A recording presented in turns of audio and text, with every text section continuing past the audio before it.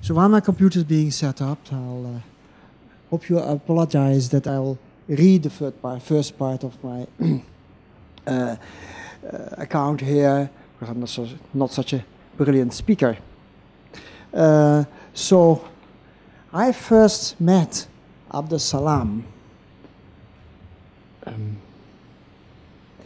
in 1971 when I had the opportunity to uh, when I had the opportunity to uh, present very briefly uh, work I had done about the renormalization of Yang-Mills theory.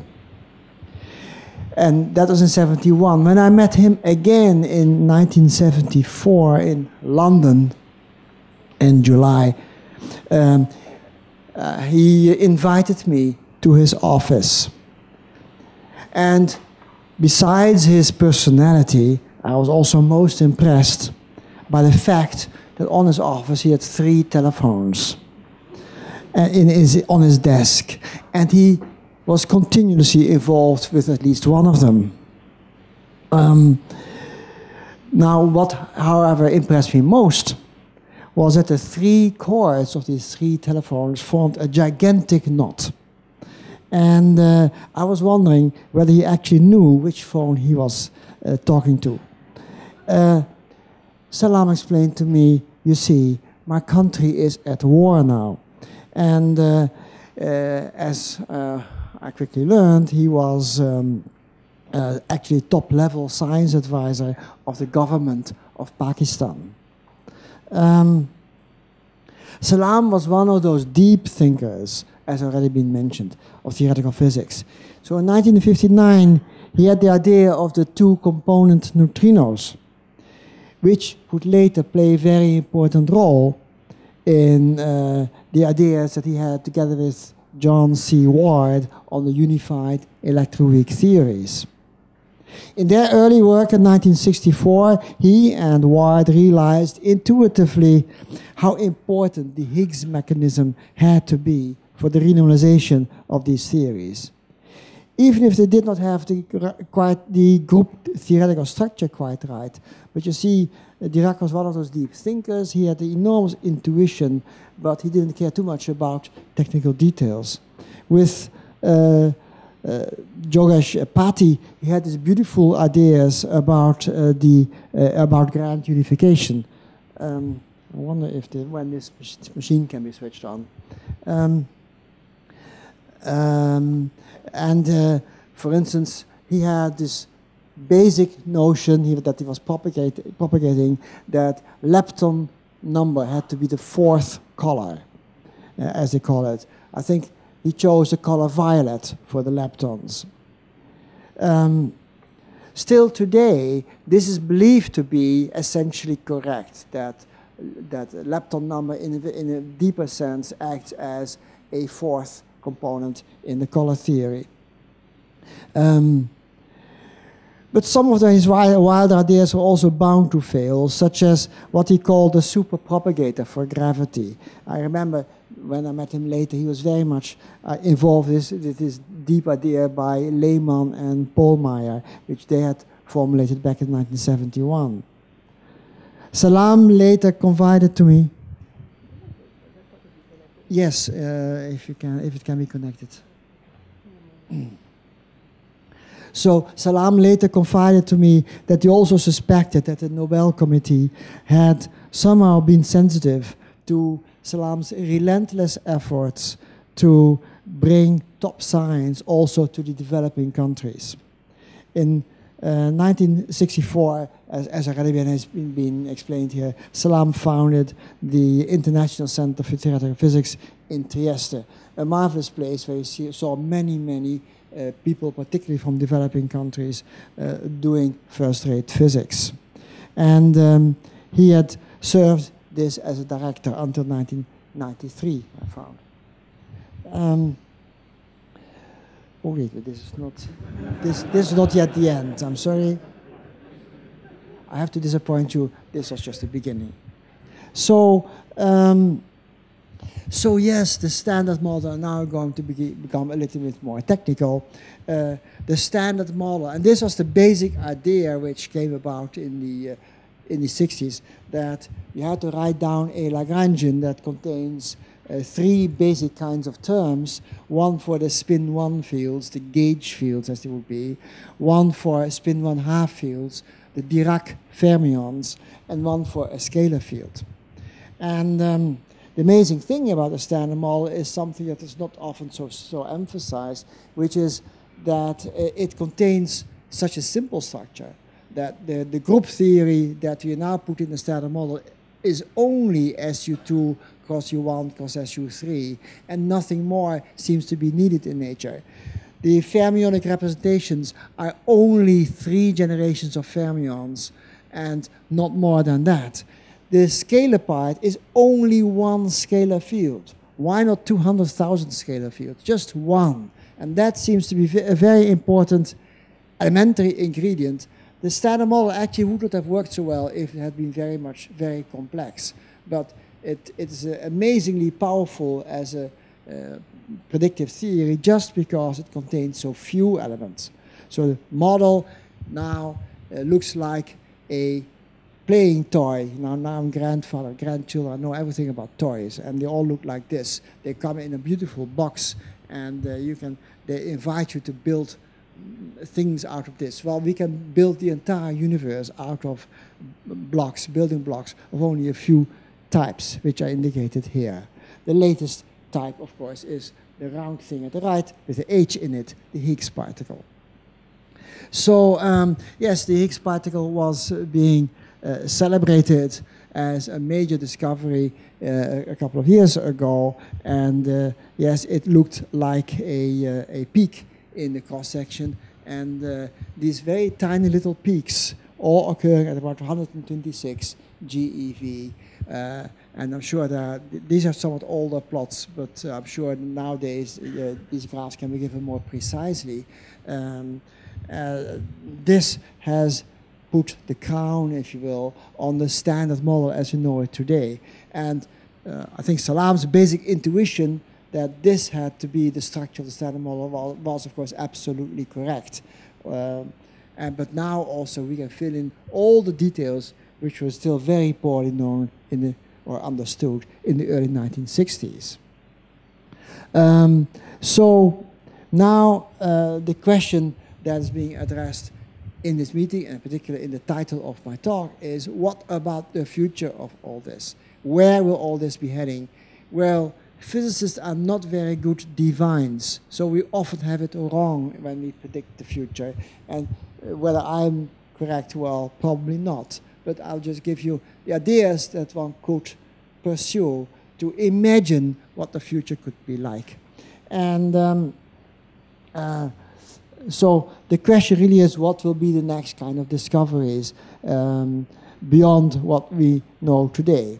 So is there, uh, is there, for instance, supersymmetry? This is a very important question many people have been asking. Supersymmetry is a marvelous new symmetry structure that people could imagine, whereas it has not been demonstrated in any way by real observations. It would have been so nice if we could really uh, detect supersymmetric features in the world of the subatomic particles. Or um, are there extra dimensions is another question. This would mean that, well, actually both these questions would mean that space and time are not what we thought they were in the past. Uh, as, as you all know, Einstein had made two contributions to our, our concept, our ideas of space-time. One is special relativity, the other is general relativity both of these transformed beyond recognition nearly our concept, our understanding of what space and time really are. But if you add supersymmetry to that, uh, it's not often so well uh, appreciated that supersymmetry also is a theory about space-time because it, it, it is associated to spin of particles connecting particles with different spins, but you can also only do that by realizing that spin is a property of the behavior of a particle in space and time. So postulating relations that have to do with spin of the particle will eventually also affect your deep ideas about space and time itself. This was called superspace, and uh, uh, uh, Salam had indeed also deep thoughts about superspace. The idea that space and time contain an extra fermionic uh, dimension, one or several. And um, of course, the idea of extra dimensions also would profoundly influence our notion of space-time. So that means that theoretically we're very, very interested in learning what the LHC will tell us. Will there be towers of particles which, which would indicate a, new dimension space-time? Or will there be uh, super partners of the kind that are predicted by the supersymmetry theories? We don't know, we can just guess. But the, the guess which uh, I will discuss a little bit more in, in, at length, is the idea that maybe there's going to be nothing added to the standard model. In short, that the idea that maybe the standard model will be much more robust. It will, uh, it will stand up straight uh, uh, in front of all the attacks, because all, all the talks that, that have been given by theoreticians over the years have been about whether how we should demolish a standard model. What comes next after the standard model? Well, maybe very little will come out next, and that's the topic which I would like to explain. And it is uh, fed a little bit by the recent observation of the Higgs. The Higgs was found to have a mass of 126 GeV. And from experimental point of view, this is just one value that could have been anything else. And even for many theoreticians, it is just one value which could have been anything else. But when you look more carefully, you find that, well, this number is really very special. Because it's exactly the number that you would need if you would suspect that the self-interaction of the Higgs particle is very small, particularly at very high energies and very, very small distance scales. So if that is so, then we want to know about it. Why is that so? Um, so, uh, well, this would imply that uh, quantum field theory, can you still hear me? Yes. Uh, quantum field theory is to some extent scale invariant. So scale invariance is a deeper symmetry in nature than um, we may have thought. So uh, why does the, uh, the Higgs particle precisely have the value that makes the world look more scale invariant than it would have otherwise?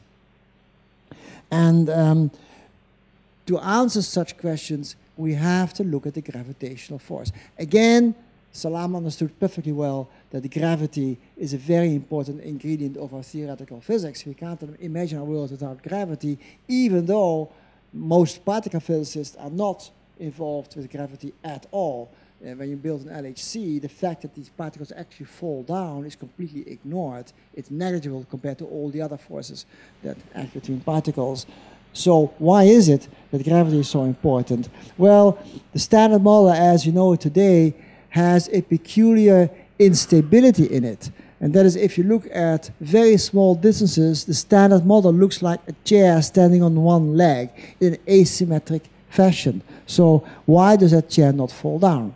And um, uh, that would be the case if the model had been built in some natural way, if there had not been any preferred uh, detailed um, uh, idea about how this chair is standing just on one leg. This is not the ideal theory of nature that we have to postulate that someone put this chair exactly at the right in the right position. What's wrong with that?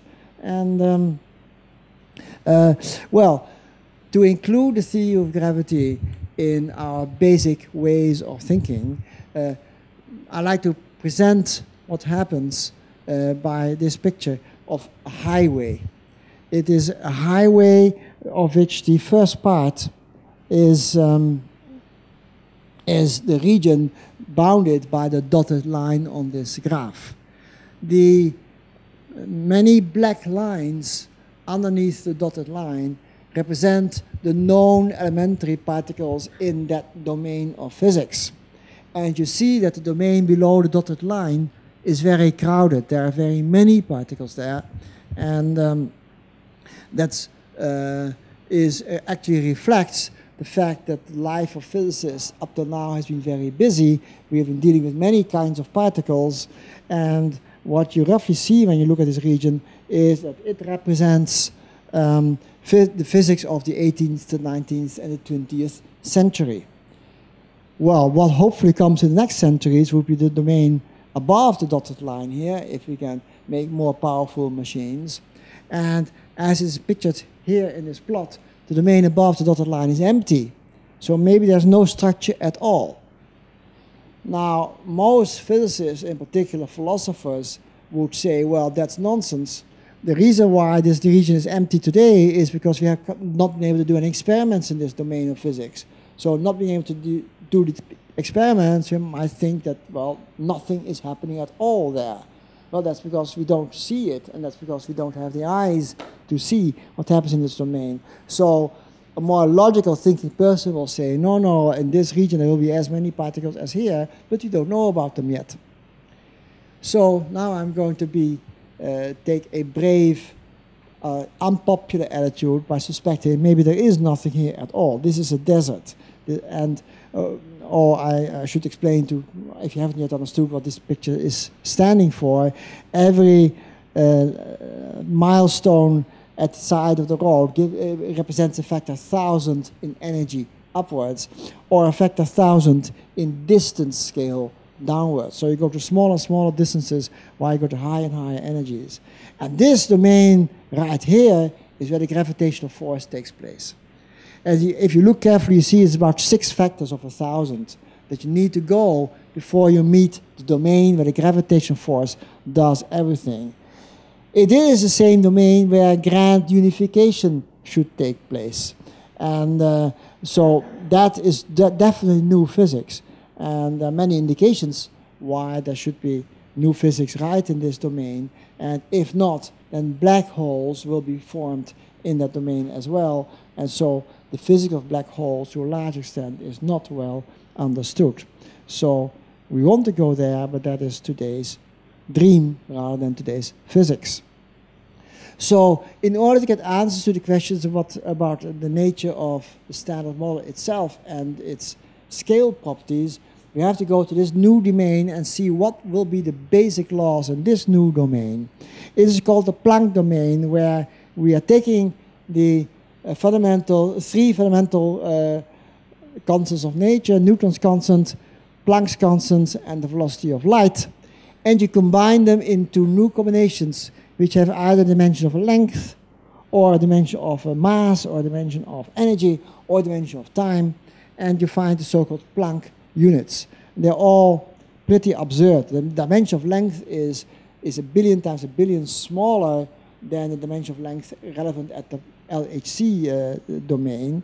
The, uh, this mass is actually the mass of the particles that you're looking at, which of course is extremely much larger than the masses that, that the LHC is looking at. And these are the typical energies by multiplying this number by c squared. Um, so, uh, in order to guess what happens to, uh, to the standard model, we first have to guess what happens at the other end of the scale. And that endpoint is called quantum gravity. And it's amazing that up to today, we still don't have, do not have a comprehensive theory about how to quantize gravity completely. So what happens there? Well, space and time themselves will be curved. That is the answer most theoreticians will give you. This curvature here will be subject to the laws of quantum mechanics. This is going to be very complicated, and nobody, to my mind, has done it completely right yet. We need a super intelligence or someone with infinite intelligence to understand how to deal with this, the fluctuations here of space and time that are in accordance with quantum mechanics. Now, there is something that theoreticians can do.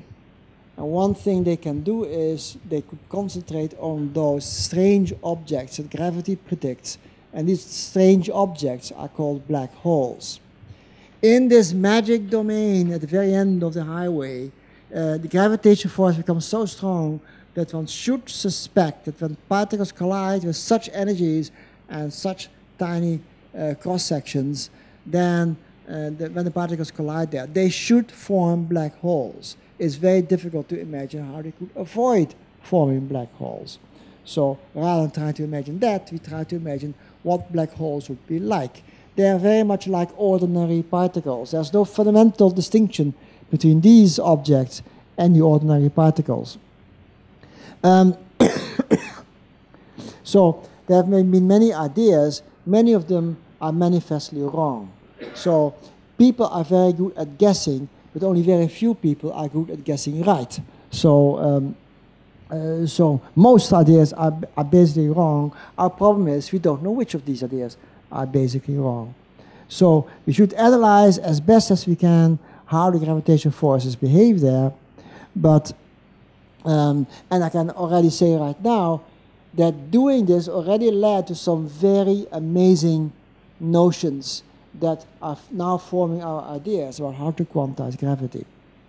And um, one of the basic notions is the question is what happened to a black hole. What you have to do is you have to consider a black hole as indeed some sort of blank spot in space and time, and the uh, fundamental calculation one can do using ordinary gravitational physics. So I'm not going to do something extravagant, I'm doing an ordinary calculation. I can consider a particle going into a black hole, and at the same time, I can consider particles coming out of the black hole. You see, the discovery which was made by uh, Stephen Hawking was that black holes actually emit particles. And those particles have rather strange properties but they are ordinary particles. So ordinary particles come out of the black hole and they might actually, while they come out, they might cross the particles that you might want to throw in. And what, uh, as a theoretician, uh, I've been involved with, with others as well, is uh, that we look at the region where these particles cross. What kind of physical laws might you expect there? And the calculation one can do is a fundamental calculation, but it's using ordinary physics.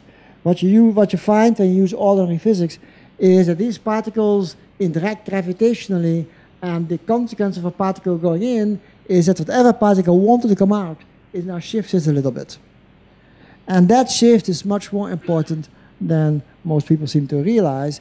Eventually, it gives rise to a discreteness of space-time. So space and time are now found to form some sort of lattice. Exactly what kind of lattice we do not know.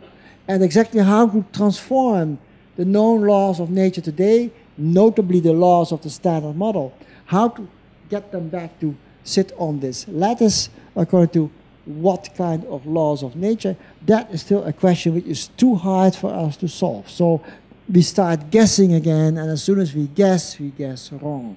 So we, we should stop guessing. We should try to use very slow, very small steps to discover how these laws are formulated without first guessing them. Guessing things is all right. Uh, we guess all the time, so we have some idea about what we might find out.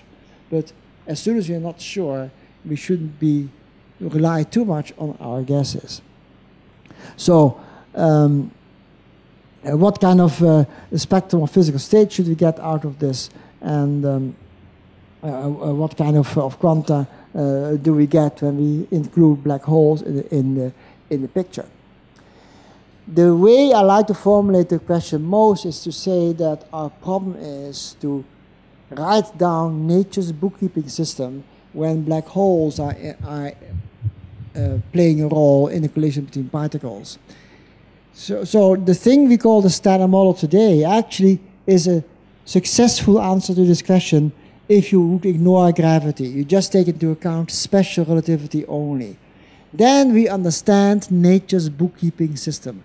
That is to say, we understand which degrees of freedom are relevant, and then we can we can understand what equations they obey. We can solve these equations and make a prediction about the experimental uh, results. So we can then check these predictions in the laboratory to see how, to what extent they make sense. That's how the standard model is built, but that's without gravity. If you put gravity in, the one thing that becomes very enigmatic is how to reformulate nature's bookkeeping system. With the bookkeeping system, I just say that we have a complete list of all particles that are existing in, the, in this spot. We have a complete list of all fundamental equations they obey, they, they collide, they do things, and we, we can use these equations to calculate what comes out. That was true for the standard model, but it's not true for any version of quantum gravity that uh, I've seen. They always are very vague about nature's bookkeeping system. So um, uh, actually, I should I mean, you add to this of various candidate bookkeeping systems, superstring theory is coming closest to answering these questions. So there must be quite a few people here who have been working on superstrings for major part of their lives, and they are convinced that superstrings is exactly the answer to the question, what is nature's bookkeeping system? But I still believe myself that there are too many gaps, too many holes in our understanding. Black holes is one of our problems that we still have in understanding completely what nature's bookkeeping system is. So um, uh, at the Planck scale, the guess that I'm having is that nature is just a, a kind of cellular automaton. It is a machine that you can put in your computer. It is processing information. And the information being processed then reveals itself to us as if there are particles moving around, colliding, interacting, causing forces, and so on and so forth. You can do, uh, um, and, and the suspicion is that maybe at that level, at the Planck scale, uh, space and time are again classical. Um, so can we link this with the LHC uh, information that the Higgs particle is just basically the mass of 126? Um, how much time do I have? Because I can go on forever. Good. Uh, so um, the Higgs mass of 126 uh, GeV, as I said, is tremendously special. Uh, it makes our world look stable against scale transformations. So it looks as if it is holding that strange chair exactly on one leg for a, a, long time along the desert, the, the, the, the highway across the desert. So at the top of the highway, this, this chair standing on one leg. It continues standing on one leg until it reaches the standard model scale. That is a strange situation, but it seems to strongly indicate that this is what actually is happening in our theories of nature. So, uh, how do we understand this? Um, so, my answer that is maybe the reason why this is so is that there is very little actual structure on the highway through the desert. If there's no such structure, it means that the standard model as it stands today is actually much more robust than most of us would be tempted to believe. And there are clues. There are clues from other branches of physics, other branches of science, that there's something special going on when you scale transform. One of the clues comes from cosmology and Big Bang theories. In searching for consistent scenarios of the beginning of the universe, astrophysicists use models where uh, particles are inhabiting our world, but these models, when they investigate the cosmic background radiation, they find some indications about these models, and the most striking discovery they make is that the universe looks amazingly flat. There's uh, very little uh, space-like curvature in, in, the, in the universe. Less curvature than any ordinary interpretation of Einstein's theory of relativity would have suggested.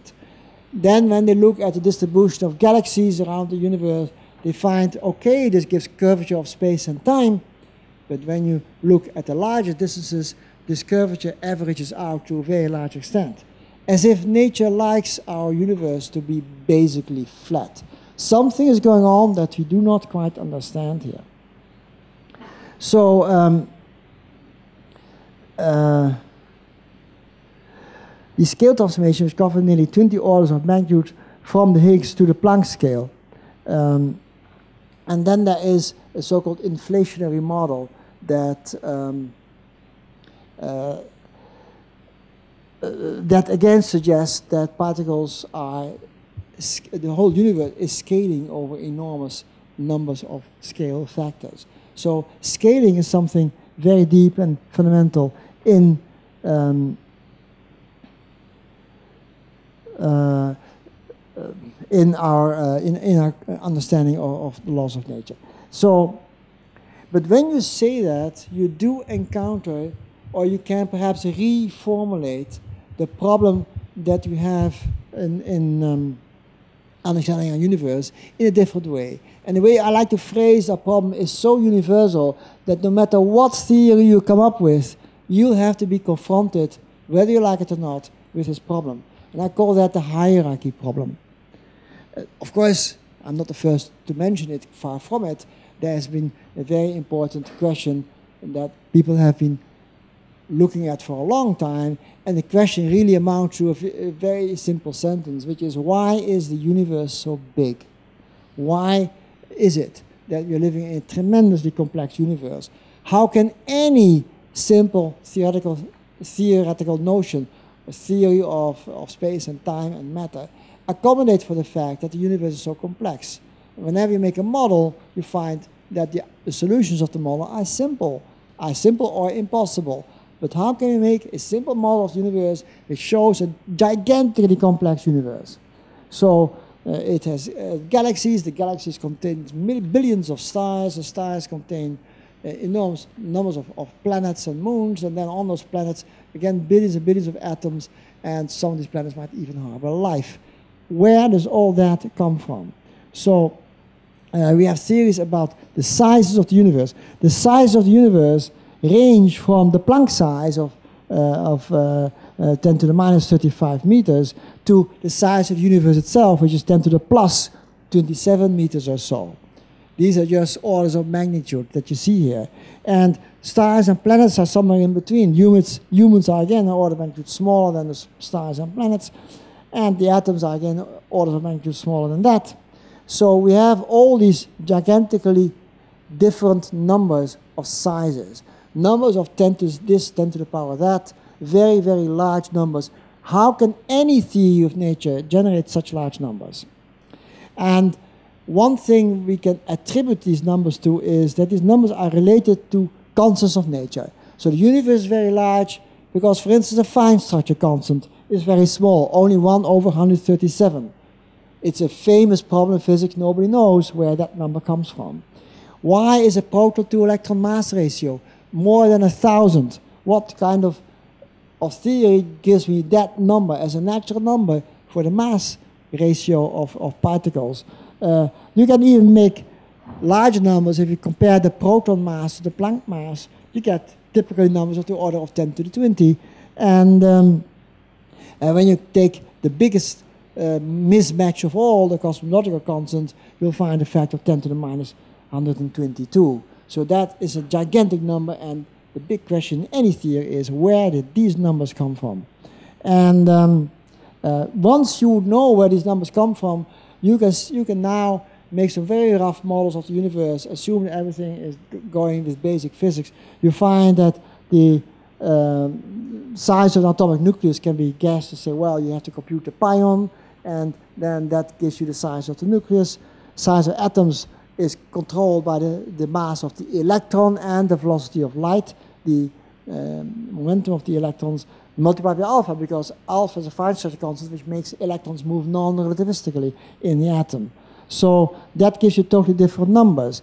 The density of rock can be can be estimated by saying, well, it's a proton which has uh, one um, uh, the, the, proton which has one uh, uh, proton mass per fundamental volume of the atom. So automatically you get all these numbers which are typical numbers for the universe, which um, which automatically then give you uh, why where all these gigantic numbers in the universe come from. So you can relate all that, and I go on to the uh, scales of numbers, but I, I, skip all the details here. My time is almost over. Uh, so I've uh, not long ago uh, submitted a paper to the archive that describes uh, the problem of scale transformations, or technically rather conformal transformations. How can conformal transformations be understood? And the basic message here is conformal symmetry should is normally considered to be a symmetry that's explicitly broken in any theory of elementary particles. But now we say it is spontaneously broken. That's the basic message here that scale and conformal symmetry are spontaneously broken symmetries. And that could be a possible answer, that symmetries that are spontaneously broken are in a sense, less broken than when you explicitly in your models put in arbitrary numbers which break the symmetries. So this could possibly be an alley out. This could be the reason why the standard model uh, it would be so robust against scale transformations. You can scale it all across the desert and maybe nothing changes. This is a guess. Like many other guesses, it is probably wrong, but I think one what one should keep in one's mind is not whether the details of what I said now were all correct, but rather uh, that uh, one might have to look in, in directions of this sort to answer our very, very basic questions. Uh, I see my time is sort of over, so I, I think this was the most important message that I wanted to convey. Thank you very much. Thank you for our speaker. I think we have uh, uh, time for a few questions. A any question? David? David.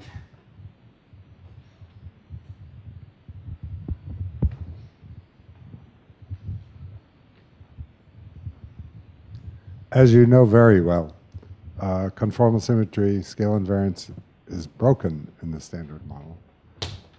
Not spontaneously, but that is precisely the point. quantum symmetry. So in today's version of the of the standard model, in today's gravity theories, and that even includes string theory, these symmetries are broken by anomalies. So, no, but you know very in, gravi- in string theory, in gravity, there's a dimensionful parameter. Well, um, constant, the Planck mass. Well, you generate dimensions, and those are sort of input, and uh, they seem to be explicit breakings of the symmetry. Whereas what I would like to see is a theory where, where scale uh, is controlled by some sort of field, a dilaton. Actually, of course, in gravity, indirectly, that's already what we have.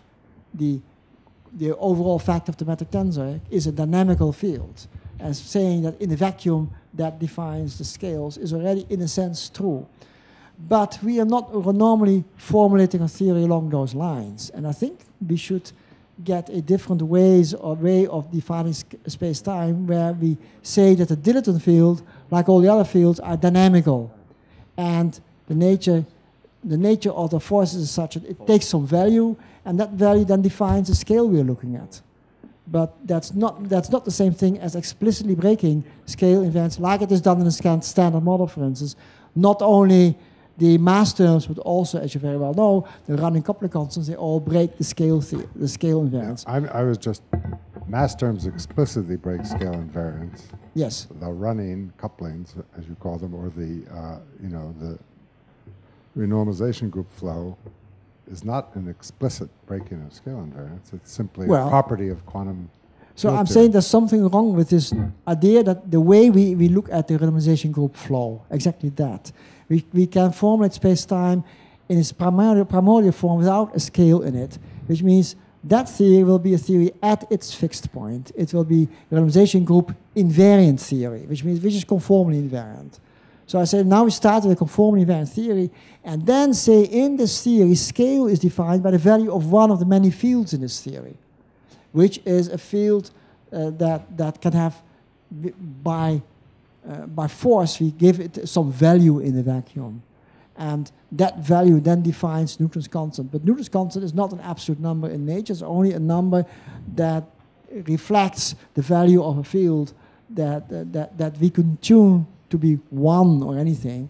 So that Newton's constant, like Planck's constant, like the velocity of light, is just basically a number which, which fixes scales of things, uh, of, of, way we, where we phrase our theories, while uh, we should not make our start with a picture of space-time where Newton's constant has to be put in as fixing, for instance, what the Planck scale is. But how would you modify QCD? Well, uh, the, the fact that the running coupling constant in QCD is running with respect to this dilaton field in gravity. It doesn't run in an absolute sense. It runs with respect to this other field, the, the, the uh, determinant of the, of the metric in gravity. Mind you, what I'm saying actually, you could regard as just playing with words without any physical content, because uh, you would agree with me you can rephrase today's theories already along these lines. We don't have to do anything special. But the only thing is that in, in theory we normally normally don't don't do it this way. I like to compare the situation a little bit with the Higgs model eh, in in gauge theories, where we have been extremely successful in doing exactly that.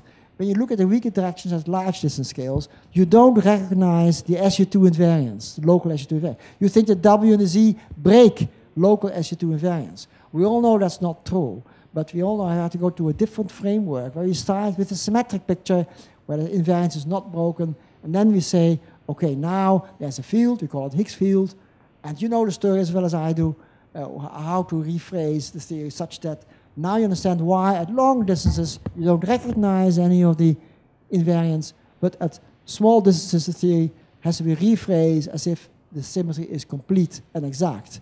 And I'm saying we should, what we did with the Higgs mechanism, we should also do with conformal symmetry. Thank you. Thank you. Uh, one more question.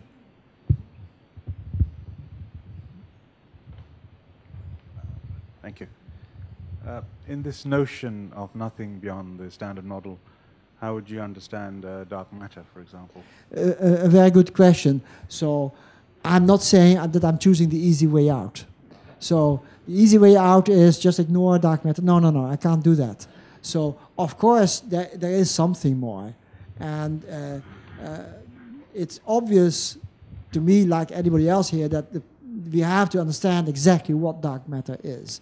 It could be an extra component in a standard model, which most of us believe, but it might be a more innocent kind of particle that we haven't discovered yet. That, that is what most people think of. So the LHC, if the LHC doesn't even give us dark matter, we still have a problem. Absolutely sure. So thank, thanks our speaker again.